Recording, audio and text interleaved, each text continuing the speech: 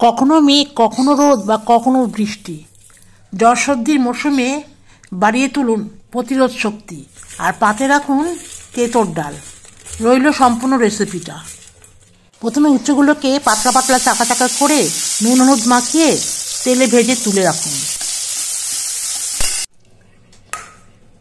ডাল নিয়ে সেটাকে শুকনো খোলায় ভেজে ধুয়ে প্রেশারে সিটি দিয়ে নিন।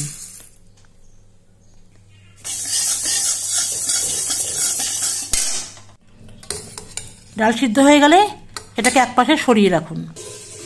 কড়াইতে এক চামচ মতন ঘি দিয়ে ওতে ফোড়ন দিন, একটা লঙ্কা, কিছুটা পাঁচ ফোড়ন আর কিছুটা রাঁধুনি। তাতে ডালের গন্ধটা খুব সুন্দর আসবে। একটু নাড়িয়ে নিয়ে তাতে হাফ চামচের মতন একটু আদা বাটা দিন।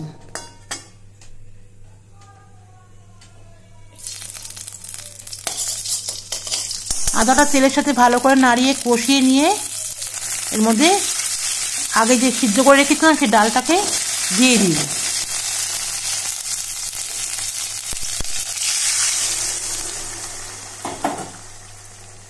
ডালটা ভালো করে ফুটে উঠলে ওর মধ্যে একটা কাঁচা লঙ্কা দিন আর স্বাদ অনুযায়ী লবণ দিয়ে দিন।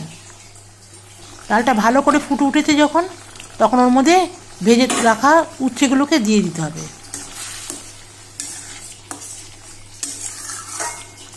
কিছুক্ষণ ফোটানোর পরে ওর মধ্যে হাফ চামচের মতন চিনি আর এক চামচ ঘি দিয়ে নামিয়ে নিন।